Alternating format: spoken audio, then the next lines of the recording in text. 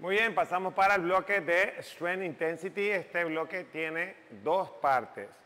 Antes que nada, antes de comenzar, recuerden siempre que en estos bloques trabajamos con el RP, que es calificación de esfuerzo percibido, que nos va a dar una orientación de qué peso vamos a utilizar o el que estamos solicitando para cada set, para que puedan trabajar acorde de su capacidad o condición y siempre anotar lo que hacemos en cada bloque para que ustedes puedan semana a semana exigirse un poco más.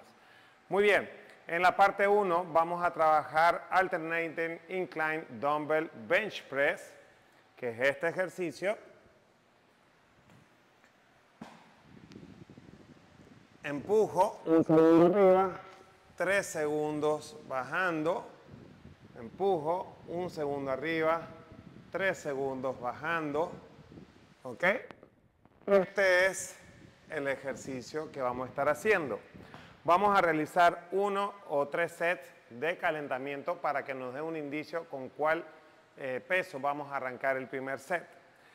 Luego, una vez que ya lo estableciste, que calentaste, vamos a comenzar el primer set, ¿sí? Con la cantidad de repeticiones que están puestas y detalladas para el set número uno, con el RPE asignado Luego vamos a hacer el set número 2, también con la cantidad de repeticiones como bien lo indica y el RPE.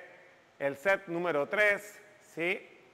con la cantidad de repeticiones como bien lo indica, con su RPE asignado. Y en el set número 4, ¿sí? atentos, vamos a quitarle el 10% del set anterior y vamos a hacer la mayor cantidad de repeticiones posibles y continuas.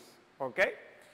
Esto es únicamente en el cuarto set. Repito nuevamente, en el cuarto set vamos a quitarles el 10% del peso del set anterior y vamos a hacer un solo set por la mayor cantidad de repeticiones de dumbbell bench press inclinado.